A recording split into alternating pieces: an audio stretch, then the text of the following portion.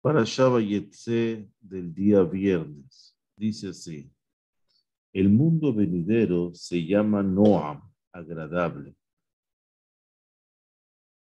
Agradable.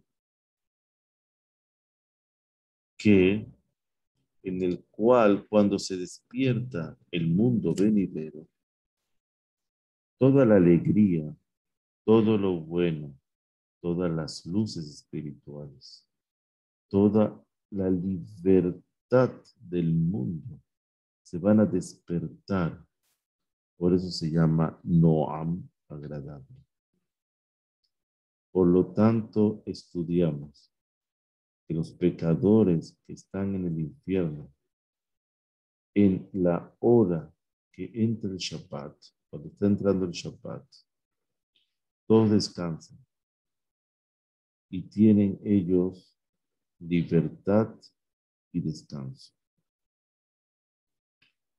Cuando sale el Shabbat, cuando ya es Motzai Shabbat, hay que despertar sobre nosotros la alegría superior para que nos salvemos de ese castigo de los pecadores que son juzgados en esa hora cuando sale el Shabbat.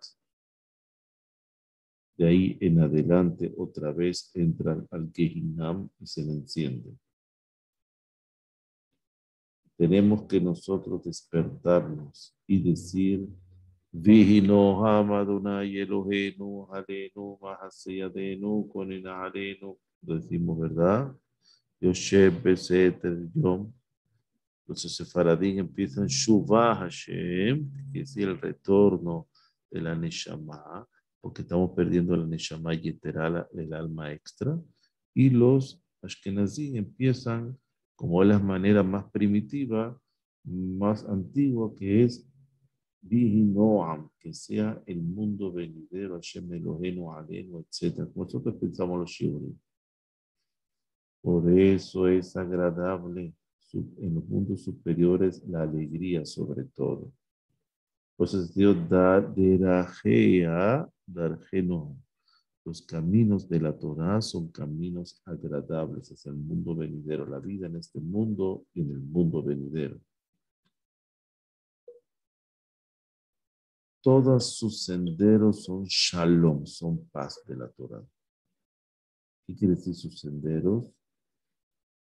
Son los senderos que salen de arriba y todos están aferrados ¿verdad?